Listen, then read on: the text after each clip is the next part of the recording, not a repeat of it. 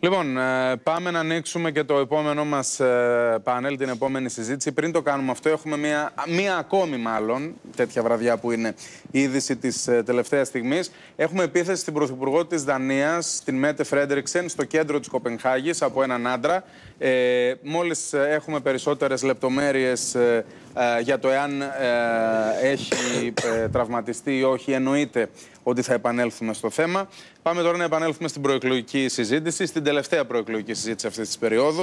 Καλησπερίζω τον κύριο Ρέστη Όμαραν ε, Κουκουβιτάκη, ε, Κουκουβιτάκη με συγχωρείτε, υποψήφιο ευρωβουλευτή με τη Νέα Δημοκρατία. Καλώς ήρθατε. Καλησπέρα. Ε, καλησπερίζω τον ε, κύριο Γιώργο Νούσκαλη, υποψήφιο ευρωβουλευτή με τον ΣΥΡΙΖΑ Προοδευτικής Συμμαχίας στη σύνδεσή μας. Καλησπέρα κύριε Νούσκαλη. Τον έχουμε τον κύριο Νούσκαλη. Ναι, μας ακούτε, καλησπέρα ναι, σας. Ναι, ναι, ναι, σας ακούμε, θα σας δούμε κιόλας σε λίγο. Ε, καλησπερίζω τον κύριο Γιάννη Βαρδακαστάνη, υποψήφιο ευρωβουλευτή με το ΠΑΣΟ. Καλησπέρα σας κύριε Βαρδακαστάνη. Καλησπέρα σε εσάς και στους τηλεθέτες. Καλώς ήρθατε. Ε, καλησπερίζω τον κύριο Χαράλα Μποκύρκο, υποψήφιο ευρωβουλευτή με την Πλεύση Ελευθερίας. Καλώς ήρθατε. Καλησπέρα κύριε Μελιγκόνη. Ευχαριστώ πολύ για την πρόσκληση. Εγώ, εγώ που είστε εδώ. Ε, καλησπερίζω τον ε, κύριο Άκη Τσελέντη, ε, υποψήφιο ευρωβουλευτή με την ε, Νίκη. Καλησπέρα κύριε Τσελέντη. Λοιπόν, ε, πάμε να ξεκινήσουμε με τον πρώτο γύρο. Θα ανοίξουμε μια συζήτηση για τα της ε, διαφάνειας ε, και για το πόθεν έσχες. Ε, ε, κύριε Ομράν, ξεκινάω από εσά, διότι σήμερα ε, υπάρχει και μια ανακοίνωση του ΣΥΡΙΖΑ εναντίον σας, με την οποία ζητεί από τον κύριο Μητσοτάκη την αποπομπή σας από το ψηφοδέλτιο, λέγοντας ότι έχετε καταδικαστεί για δόλια λογοκλοπή. Ε, διαβάζω και για συνεργασία με τον κύριο Πάτσι, τον περίφημο κλπ. Ε, να ξεκινήσουμε μια απάντηση. Με μεγάλη χαρά. Θα σας πω το εξής. Εγώ, όταν είδα το πρωί την ανακοίνωση του ΣΥΡΙΖΑ, δεν ήμουν ενημερωμένος γιατί ήμουν στα Χανιά στην Κρήτη, έκανα περιοδία. Τέλος πάντων, λοιπόν, ε, ε, μου στέλνουν ένα μήνυμα που έλεγε ο ΣΥΡΙΖΑ ότι είμαι καταδικασμένος. Και λέω, ρε γάμο, το τι έχει γίνει. Δηλαδή, με έχω καταδικαστεί, εγώ και δεν το γνωρίζω, ξέρετε, είμαι και δικηγόρος. Και να σας πω την αλήθεια, σκέφτηκα κατευθείαν ότι το ποινικό μου πιτρό είναι λευκό και το έχω καταθέσει και στη Νέα Δημοκρατία για να οριστώ υποψήφιος ευρωβουλευτής. Ναι. Διαβάζω λοιπόν και συνειδητοποιώ ότι πρόκειται πραγματικά, και το έχω εξηγήσει και σε μια ανακοίνωσή μου σήμερα, περί μιας αστικής διαφοράς. Υπάρχει πολύ μεγάλη διαφορά μεταξύ αστικής διαφοράς και ποινικής διαφοράς. Έτσι. Αστική διαφορά μπορεί να έχει ο καθένας μας. Μπορεί εγώ μαζί σας να έχουμε μια σύμβαση, να διαφωνήσουμε και να κερδίσει ο ένας ή ο άλλος ένα δικαστήριο. Μας καθιστά αυτό αήθης ή ανίκανου να είμαστε υποψήφοι με ένα κόμμα; Όχι βέβαια. Το να λες όμως σε μια ε, ανακοίνωση κόμματος βασισμένη σε ένα ψευδές δημοσίευμα ότι έχω καταδικαστεί, νομίζω καταδεικνύει και την άγνοια και τη δολιότητα του πράγματος. και εγώ το πάω και ένα, αν θέλετε, επίπεδο παραπέρα. Ε, αυτή η λογική του πολλακισμού, αν μου πείτε, του τραμπισμού, όπως την επιβάλλει ο αρχηγός της αξιωματικής mm -hmm. αντιπολίτευσης, βλέπετε ότι δεν πιάνει. Προσπαθούν δηλαδή, εγώ έχω μια παρουσία στα τηλεοπτικά πάνελ, είμαι καινούριο στην πολιτική. Προσπαθώ πραγματικά με μαχητικότητα, με επιχειρήματα, να κάθε φορά να υπερασπίζομαι τα, αυτά τα οποία πιστεύω με επιχειρήματα ε, τα οποία είναι προφανώς οι θέσεις της κυβέρνησης και οι θέσεις της Νέας Δημοκρατίας. Κάθε φορά που πετυχαίνω κάποιον εκπρόσωπο του ΣΥΡΙΖΑ, mm -hmm. το αποτέλεσμα είναι συγκεκριμένο. Και έχει δημοσιευτεί πάρα πολλές φορές. Φεύγουν με το κεφάλι ε, ε, χαμηλά.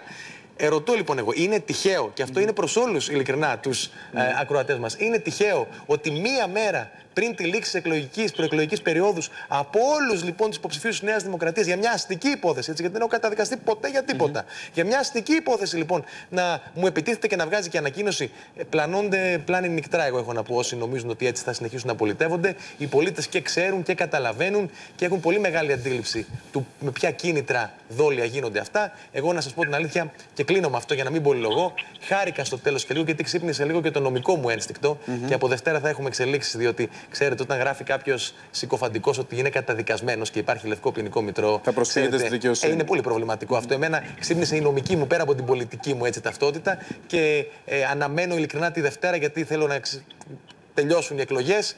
Σωστά, νομίζω, εγώ πολιτεύομαι πάντοτε με θεσμικά ε, αν θέλετε. Ναι. Και από Δευτέρα θα έχουμε εξελίξεις και θα, θα τις περιμένουν, νομίζω, με ανυπομονησία. Βέβαια, αν μπορείτε με μια φράση για να περάσουμε εξ του Νουσκαλή, ε, όλο αυτό δεν είναι ένα, ένα κομμάτι σε ένα ευρύτερο παζλ που έχει να κάνει με κατηγορίες για διαφθορά, για μαύρο χρήμα, για υπόνοιες, πώς βρέθηκαν τα λεφτά. Ένα παζλ το οποίο συνδιαμόρφωσε και η Νέα Δημοκρατία. Πριν ο κύριος Κασελάκης παρουσιάσει το Excel, ε, Δευτέρα, Τετάρτη, Παρασκευή, ο κύριος Μητσοτάκης έλεγε πότε θα καταθέσει το πόθεν έσχεση. Κοιτάξτε, η κατάθεση του πόθεν έσχεση είναι μια εκ του νόμου υποχρέωση η οποία υπάρχει για κάθε αρχηγό πολιτικού κόμματος και δίκαια τον αρχηγό της αξιωματικής αντιπολίτευσης. Ο κύριος Κασελάκης δεν το είχε κάνει μέχρι τώρα. Προσέχτε, άλλο να λέμε για μαύρο χρήμα, άλλο να λέμε για παρανομίες και άλλο να λέμε ότι κάποιος, ο οποίος οφείλει εκ του νόμου να καταθέσει το πόθεν έσχεση του, Μάλιστα. δεν το κάνει για λόγους δικούς του. Σαφής. Να διαχωρίσουμε δηλαδή την πηγή των χρημάτων με την, αν θέλετε, ε, κατάθεση ενός, μιας, ενός νόμιμου εγγράφου. Αυτή είναι η διαφορά. Μάλιστα. Έτσι. Ε, κύριε Νουσκαλή, επειδή είστε και καθηγητή στη νομική του Αριστοτελείου, ε, θέλω να σας ρωτήσω εάν σας προβληματίζει. Ε, μιλάμε όλοι για την αποχή. Υποθέτω ότι διάφοροι την, την Κυριακή το βράδυ θα κλαίνε πάνω από την, ε, χει- από την καρδάρα με το χυμένο γάλα της αποχής κλπ.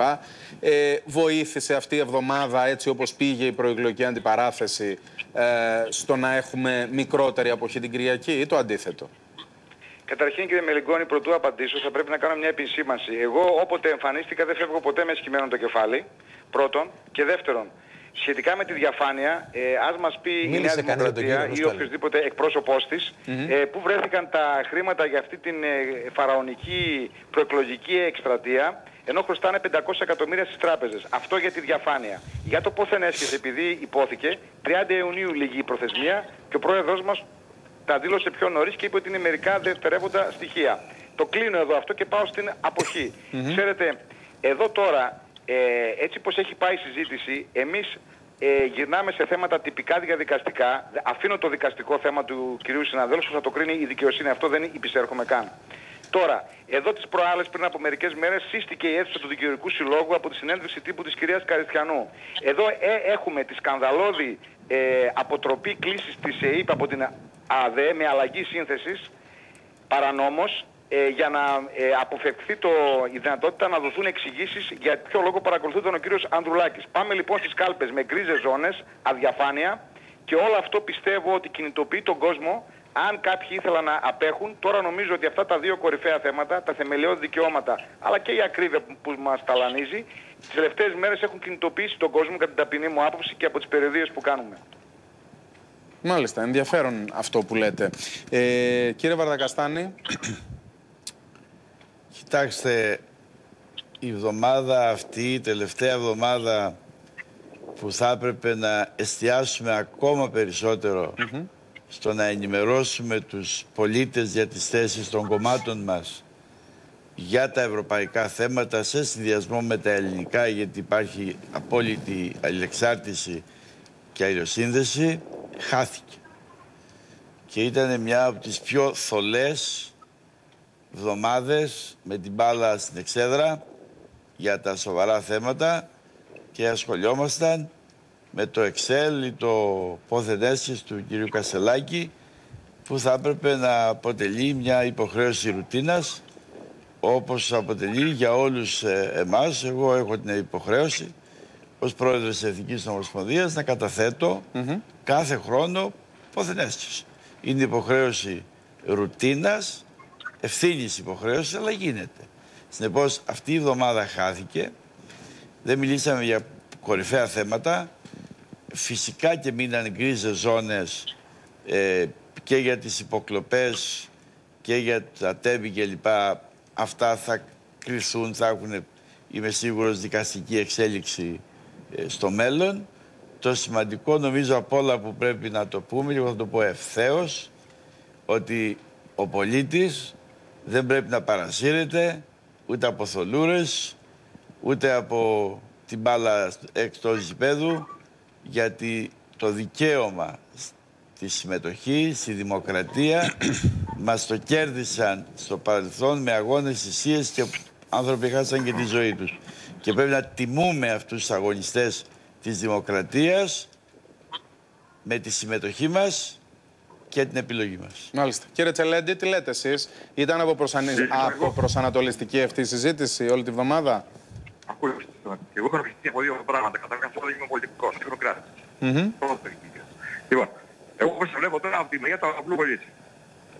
Δεν ενδιαφέρει τον απλού πολίτη τα εκατομμύρια του κυρίου Κασελάκη και Βίρστο και τα εκατομμύρια του κυρίου Μητσοτάκη και Βίλεστο. Αυτό δεν αφορά. Όπως επίσης είναι λογικό και σε μένα να βλέπω υποψήφιους ευρωβουλευτές θα υπάρχει μια κορομαχία, δεν λέω για τους παρόντες, θα μόνο. Υπάρχει μια κορομαχία στο ΜΜΕ για το τι θα κάνει ο ένας, τι θα κάνει ο άλλος, ποιος είναι καλύτερος, θα υπάρχει ένα think tank από το οποίο θα να ακούσουν κάποιες κοινές δράσεις, οπότε όσοι θεωρούν θα έχουν ένα συγκεκριμένο αποτέλεσμα. Εγώ τώρα, αν μου λέτε αν θα αυξηθεί η αποχή, με αυτό το χάλι που οποίο λέω, πιστεύω ότι πραγματικά ο κόσμος έχει μπουχτίσει και δεν θα αφήσει να ψηφίσει. Δυστυχώς αυτό θα κάνει. Μάλιστα. Ε, κύριε Κύρκο, τι λέτε; Κύριε Μελιγκόνη, ε, Δυστυχώς η δική μου πρώτη υποψηφιότητα στην πολιτική ζωή του τόπου συνέπεσε με την θλιβερότερη ενδεχομένως προεκλογική περίοδο από άψωση ποιότητας. Και δυστυχώς ασχοληθήκαμε με. Αντί να ασχοληθούμε με τα πιο παχύρευστα θέματα, τα οποία είναι τα ευρωπαϊκά ενδιαφέροντα και τα διακυβεύματα της χώρας μας στις ερχόμενες, στις επόμενες εκλογές, ασχοληθήκαμε με τα νερόβραστα και τα ξενέρωτα αυτά τα οποία ενδεχομένως μπορούν να ε, σταθούν μόνο σε επίπεδο κάποιες απουνόπερας. Εγώ ξέρετε κύριε Μελιγκόνη, μεγάλωσα σε ένα περιβάλλον που κυριαρχούσε η πολιτική προσωπικότητα του Λεωνίδα Κύρκου που ήταν θείος μου, ε, στο οποίο υπήρχαν σαφώς πολλές διενέξεις, κουβέντες και μονομαχίες εισαγωγικά. Σε καμία περίπτωση όμως το πράγμα δεν πήγαινε από προσωπικού. Πάντα υπήρχε κάποιος κυριαρχούσε ο πολιτισμός της συζήτησης. Σε καμία περίπτωση δεν πέφταμε τόσο χαμηλά όπως βλέπαμε αυτή την εβδομάδα και όχι μόνο αυτή την εβδομάδα, γιατί κάθε φορά προκύπτει ένα θέμα με το οποίο φυσικά το κυβερνών κόμμα και εξωματική αντιπολίτευση, επειδή προφανώς έχουν κυριαρχήσει στην, ε, στις ενοχές τις οποίες έχουν, δεν, δεν μπορούν σε καμία περίπτωση να ασχοληθούν και δεν θέλουν να ασχοληθούν με, αυτό, με το κυρίαρχο διακύβευμα το οποίο είναι. Και με συγχωρείτε για τη φωνή που έχω, αλλά η κραυγή των Ελλήνων πραγματικά, ε, ίσως είναι θύμα και η φωνή μου των κλιματιστικών, αλλά η κραυγή και της πλεύσης ελευθερίας και των Ελλήνων πρέπει να είναι πολύ δυνατή στις επόμενες εκλογές που έρχονται μεθαύριο και να έρθουν να ψηφίσουν για να πάνε κόντρα σε αυτή την νοοτροπία και σε αυτή την κατάντια πραγματικά του πολιτικού κόσμου. Μάλιστα. Ε, κύριε Ομράν, με δύο κόμμα τόσο ε, υπεραπόδοση στο πλεόνασμα, ε, στέκει κατά τη γνώμη ή τέλος πάντων είναι πιστικό το επιχείρημα ότι αν μειώσετε το ΦΠΑ σε βασικά τρόφιμα, σε αυτά που δεν μπορεί κανείς να αποφύγει να τα αγοράσει, να τα βάλει σπίτι του, ε, θα πέσουμε έξω.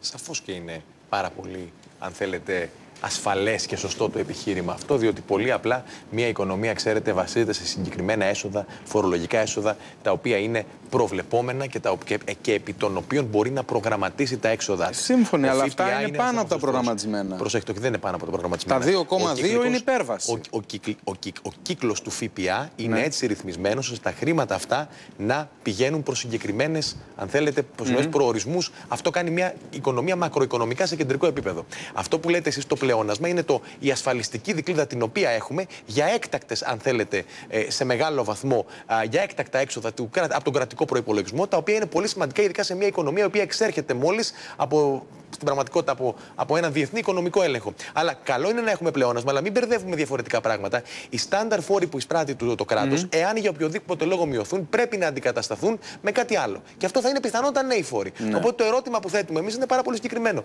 Θέλετε να μειώσουμε το ΦΠΑ, ποιους άλλους φόρους θα αυξήσουμε; Θέλετε να μειώσουμε το ΦΠΑ, ποια κοινωνικά επιδόματα θα κόψουμε; Είναι πολύ συγκεκριμένη η διαχείριση που γίνεται και γινόταν, ξέρετε, διαχρονικά ανεξαρτήτως Νέας Δημοκρατίας. Έτσι γίνεται η διαχείριση. Δεν μπορεί να έχουμε και την πίτα ολόκληρη και το σκύλο χορτέτα. Από τη μία να λέει ο ΣΥΡΙΖΑ ότι εμείς φύγαμε και σας αφήσαμε πλεόνασμα, το οποίο είναι θετικό για την οικονομία να υπάρχει ένα πλεόνασμα. Και από την άλλη να μας λένε, αφού υπάρχει πλεόνασμα, φάτε το και κόφτε το ΦΠΑ. Δεν λειτουργεί έτσι. Δεν μπορεί να έχουμε και τα δύο.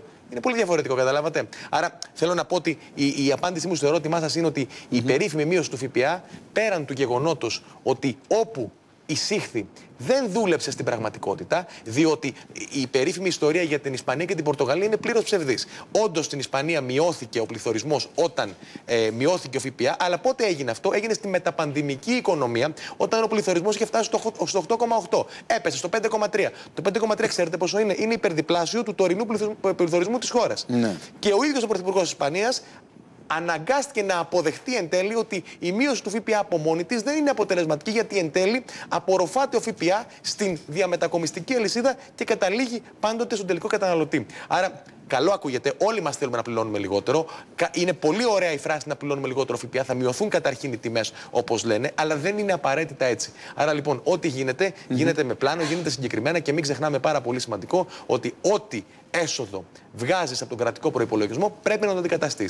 Εκτός και αν επιθυμούμε για μια ακόμη φορά να εκτροχιαστούμε, να φύγουμε δηλαδή εκτός πορείας όπως έγινε στο παρελθόν.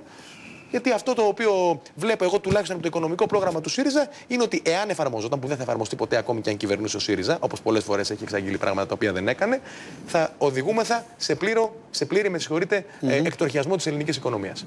Ε, κύριε Νούσκαλη, όπως καταλαβαίνετε, το είπε τώρα και ο κύριος Σομπράν, το, το λέει και ο Κυριάκος Μητσοτάκης, ότι ΣΥΡΙΖΑ ίσον 2015, ΣΥΡΙΖΑ ίσον εκτροχιασμός της οικονομίας εννοώ. Τι απαντάτε, Μόνο που ξεχνάνε ένα πράγμα, ότι δεν είμαστε στο 15 ούτε στο 19, κυβερνάνε από το 19 στη Νέα Δημοκρατία και έχουν πάρει όχι μόνο τα 37 δις από το μαξιλάρι, αλλά έχουν πάρει πακτολό δισεκατομμυρίων λόγω του Ταμείου από τον COVID και παρόλα αυτά δανειζόμαστε, το τρέχον έλλειμμα είναι τρομακτικό, είναι 50, γύρω στα 55 δισεκατομμύρια και ας μας πούν πού θα βρουν τα 19 δις που θα πληρωθούν το 26 και θα εγγραφούν τώρα στον προπολογισμό του Νοεμβρίου, γι' αυτό και δεν κοινοποιούν τα έγγραφα του μεσοπροθέσμου προγράμματος. Ένα αυτό. Και δεύτερον, πώς είμαστε σίγουροι ότι θα έχουμε λιγότερα έσοδα όταν οι πάντες ξέρουν ότι ο φόρος σκοτώνει το φόρο. Αν μειωθεί ο ΦΠΑ στα βασικά προϊόντα θα αυξηθεί η κατανάλωση. Αλλά αυτό δεν το θέλει κάποιος υπουργός από ό,τι μας είπε. Αν μειωθεί ο ειδικός φόρος κατανάλωσης στα καύσιμα θα, μει- θα αυξηθεί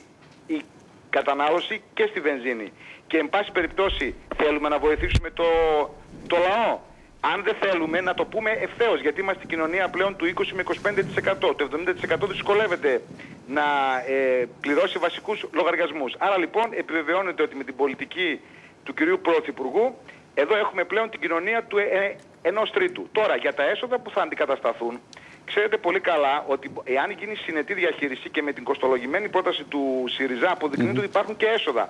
Αλλά αυτό δεν το αναδεικνύει η κυβέρνηση γιατί φυσικά δεν τη συμφέρει. Άρα λοιπόν είναι ξεκάθαρη η νεοφιλελεύθερη πολιτική η οποία οδηγεί στην ραγδαία φτωχοποίηση και κοινωνικό αποκλεισμό μεγάλων πλατιών λαϊκών στρωμάτων. Είναι ξεκάθαρα τα πράγματα, γι' αυτό και ο κόσμος πρέπει να, εισέλθει στις, να προσέλθει στις κάλπες με αυτό το διακύβευμα. Είναι νεοφιλελευθερισμός και αποκλεισμός και φτωχοποίηση ή μια ευκαιρία για ε, έξοδο από αυτό το δυστοπικό σκηνικό. Είναι ξεκάθαρα τα πράγματα. Μμμ. Ε, κύριε Βαρδακαστάνη, απορείτε γιατί ε, ενώ και το Μάιο και τον Ιούνιο και ο ΣΥΡΙΖΑ έλεγε τις ίδιες ή περίπου τις ίδιες προτάσεις και εσείς παρουσιάζατε προτάσεις και νούμερα συγκεκριμένα για άλλες πηγές φορολόγησης, για μειώσεις φόρων κλπ. Ε, το αποτέλεσμα ήταν αυτό που ξέρουμε. Τώρα τι σας κάνει να πιστεύετε ότι θα είναι διαφορετικό; Ε, εννοείται στο οικονομικό. Στις εκλογές, δηλαδή ότι... Ε, Εκτός, να, να σχολιάσεις κάτι όμως επί των οικονομικών. Ε, ακούστηκε προηγουμένως από τον εκπρόσωπο της Νέας Δημοκρατίας ότι δεν μπορεί να μειωθεί ε, ο ΦΠΑ γιατί είναι υπολογισμένο έσοδο. δεν ισχύει αυτό, διότι αν ισχύει θα πρέπει να δεχτούμε ότι ήταν υπολογισμένη και υπεραπόδοση. Που σημαίνει ότι δεν κάναμε κάτι να χτυπήσουμε την ακρίβεια. Που, που είναι αληθές αυτό. Διότι ό,τι έγινε απέτυχε. Εγώ θέλω να πω, ε, δεν σας διέκοψα. Όχι, λέω, δεν ακολουθώ τη σκέψη σας, αλλά παρακαλώ συνεχίστε. Δεν πειράζει, και αναφερθήκατε εγώ, τη, σε δι- μένα. και εγώ τη δική σας. Αφού τη σχολιάζετε όμως, πώς γίνεται; Την ακολουθήσατε για να τη σχολιάσετε. Λοιπόν. Αστείευομαι, συνεχίστε. Ε, συνηθίζεται. Λοιπόν, ελάτε, ελάτε. θέλω να πω σε σχέση με ένα θέμα το οποίο είναι πιο άμεσο. Εγώ σε όλη μου τη ζωή εκπροσωπώ ανθρώπους που είναι αδύναμοι στην κοινωνία. Άνθρωποι που δεν έχουν τη δυνατότητα όχι να βγάλουν το μήνα, το 15 τη βδομάδα. Θα έπρεπε από αυτά τα υπερέσοδα Ναι. να επιστραφεί άμεσα ως οικονομική βοήθεια και το νέο ΕΚΑΣ που προτείνουμε ως Πασόκ για τις 350.000 χαμηλοσυνταξιούχους που παίρνουν συντάξεις πάρα πολύ χαμηλές και για τα αύξηση των επιδομάτων των ατόμων με εμπειρία που οι πιο πολλοί ζουν μόνο με το επίδομα και για τους ανέργους, τους ανασφάλιστους κλπ. Οι οποίοι περνάνε πάρα πολύ δύσκολα και ανήκουν στα χαμηλότερα στρώματα τα οικονομικά της κοινωνίας. Σε ό,τι αφορά τις εκλογές, θέλω να πω ότι όπως και πέρυσι υπήρξε υποεκτίμηση δημοσκοπικά του ΠΑΣΟΚ, θα το θυμάστε, την Κυριακή το βράδυ θα αποδειχθεί το ίδιο. Υπάρχει υποεκτίμηση. Αλλά είμαστε πολύ κοντά τώρα στο να ανοίξουν οι καλπες και να έχουμε και αποτελέσματα. Οπότε θα αφήσουμε να, να μιλήσει ο λαός τώρα. Οι δημοσκοπήσεις μιλήσανε, θα μιλήσει ο λαός και θα τις σχολιάσουμε. Κύριε Κύρκο. Ε, καταρχάς, δεν ξέρω αν έχουμε αντιληφθεί γιατί μιλάμε. Δηλαδή, έχουμε βάλει τα μολύβια κάτω όλοι, κάνουμε προσθέσεις αφαιρέσεις. Δεν ξέρω πραγματικά ο κόσμος που παρακολουθεί αν βγάζει κάποια άκρη. Γι' αυτό εμείς ποτέ δεν μιλάμε με νούμερα. Είναι τραγικό αυτό που συμβαίνει. Γιατί εμείς θέλουμε όχι την Ευρώπη των αριθμών. Την Ευρώπη των ανθρώπων. Και η Ευρώπη των ανθρώπων είναι αν βγούμε έξω από το στούντιο αυτή τη στιγμή και ρωτήσουμε στο σούπερ μάρκετ, στις γειτονιές, τον κόσμο. Να συναισθανθούμε τον πόνο του. Τι θα μας πει, ότι είμαι ευχαριστημένος. Υπάρχει κάποιος ο οποίος να μας πει ότι τα πράγματα πάνε καλά. Και όχι μόνο αυτό. Είχα παρακολουθήσει την προηγούμενη κουβέντα σας που κάνατε με την εκπρόσωπο της Νέας Δημοκρατίας, ε, την κυρία Σπυράκη, αλλά φαντάζομαι ότι είναι η θέση του κόμματος αυτό σε κάθε περίπτωση. Και μιλάνε για τον Ευρωστρατό. Εμείς είμαστε σκεπτικιστές για τον Ευρωστρατό, γιατί ουσιαστικά αφαιρεί από, τον, από την Ελλάδα ένα πολύ σημαντικό μέρος της κυριαρχίας της. Γιατί; Γιατί αναθέτει την ε, άμυνα της χώρας σε, σε αλλοδαπούς, σε άλλου είδους, ε, σε άλλης εθνικότητας ε, ε, στρατιώτες, στρατό. Ε, χάνει δηλαδή σε ένα σημείο την αυτονομία της και έχουμε δει στο πετσί μας τι σημαίνει Ευρωπαϊκή Ελληνική. Έχουμε δει. Δηλαδή φανταστείτε τι έχει να γίνει στην άμυνα. Εκτός αν πιστεύουν όλοι ότι θα έρθει ο, ο Βέλγος να πολεμήσει στον Εύρο. Λοιπόν, και θέλω να ρωτήσω το εξής. Αυτά τα χρήματα που όλοι, που η Νέα Δημοκρατία λέει ότι στηρίζει την, ε, τον Ευρωστρατό. Πού θα τα βρει, από πού θα κόψει για να τα βρει; Άμα κόψει ας πούμε 30% άμα της πει η Ευρωπαϊκή Ένωση. Πρέπει να κόψεις από την παιδεία, από την εκπαίδευση. Πρέπει να κόψεις από την υγεία.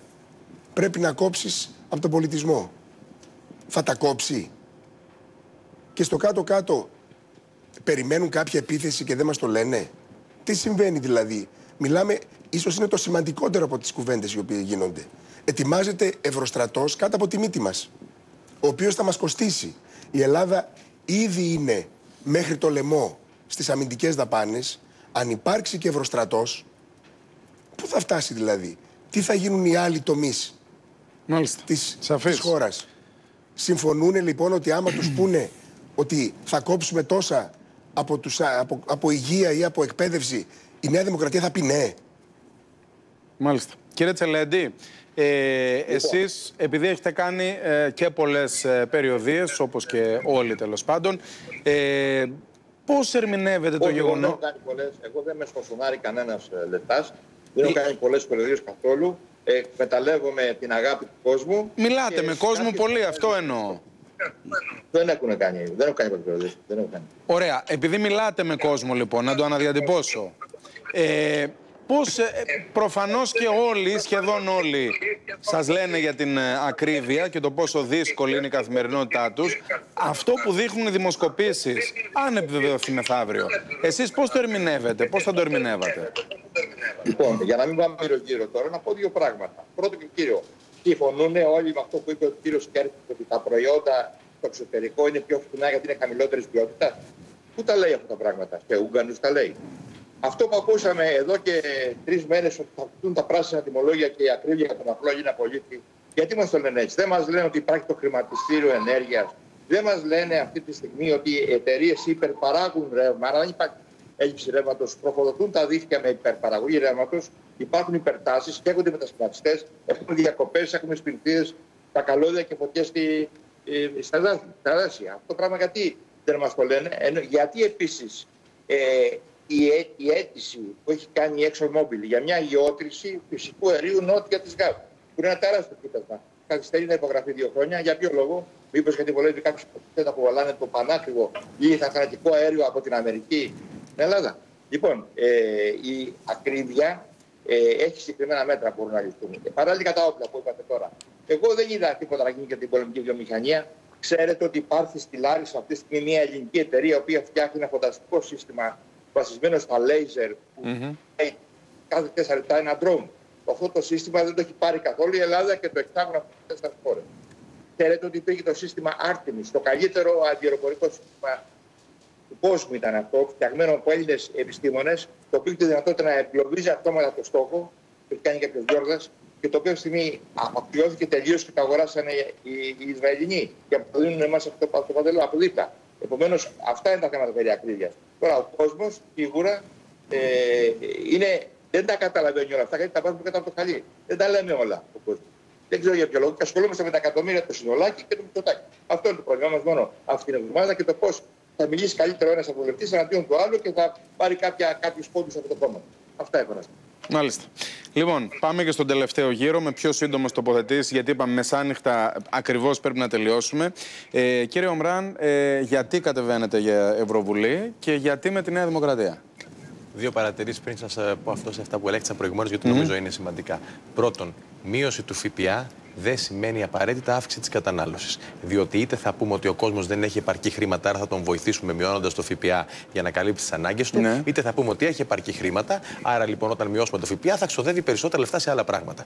Πολύ απλή οικονομική ανάλυση για τους γνώστες. Το δεύτερο, όσον αφορά τον Ευρωστρατό, να πούμε ότι η λογική του Ευρωστρατού δεν προβλέπει την κατάργηση των εθνικών στρατών. Είναι δύο τελείως διαφορετικά πράγματα. Τα εθνική, στρατή, εθνική στρατή θα υπάρχουν κανονικότητα, ευρωπαϊκός ναι. στρατός, εάν ναι. υπάρξει, θα δημιουργείται έναν από ενιαίο, από ενιαίο δανεισμό ενωσιακό για την αγορά αμυντικών εξοπλισμών και από ναι. τη συνεισφορά ε, ε, αμυντικών εξοπλισμών των κρατών μελών. Αυτό το λέω για την, ε, για την ναι. οικονομία του πράγματος. Απλά επειδή να, να λέμε τα πράγματα πώ ακριβώς είναι. Τι σημαίνει αμυντική δαπάνη Σαφέστατα γνωρίζω. Ποια φορά; Γνωρίζω ότι το κόστο. Ξέρετε κάτι. Το κόστος μιας μέρας πολέμου ναι. είναι μεγαλύτερο από το λοιπόν... κόστος του να αγοράζουμε εξοπλισμούς επί χρόνια για να αποτρέψουμε τον πόλεμο. Αυτή είναι η πραγματικότητα. Αυτό πρέπει να κάνουμε ως Ευρωπαϊκή Δηλαδή περιμένετε πόλεμο. Φυσικότατα. Όχι, καμία σχέση. Ε, ελάτε, ελάτε τώρα. Λοιπόν, Σας λέω λοιπόν ότι για να αποτρέψουμε τον πόλεμο.